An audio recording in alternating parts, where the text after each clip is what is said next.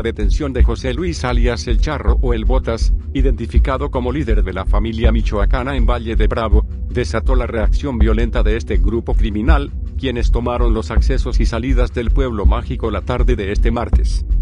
Los bloqueos carreteros comenzaron desde las 18 horas y se prolongaron hasta las 23 horas.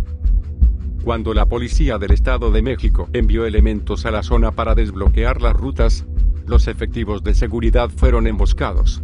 Hasta el momento se ha reportado la muerte de un comandante y al menos seis uniformados más lesionados.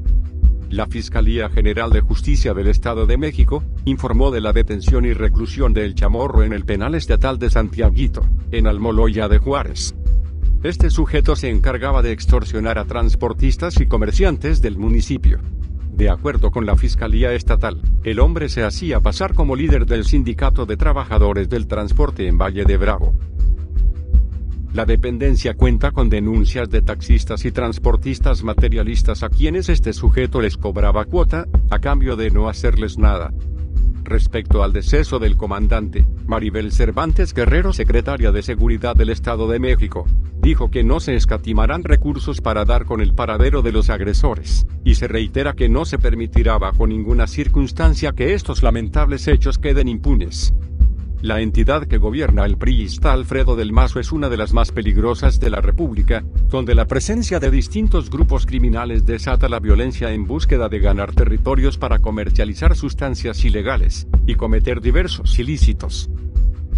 Ayer fueron eh, en una comunidad cercana a Temascaltepec, donde pues informan la presencia de un grupo armado. Eh, Comisión Estatal de Seguridad va a hacer una supervisión de ese grupo armado y son recibidos a, pues a fuego, a, balazos.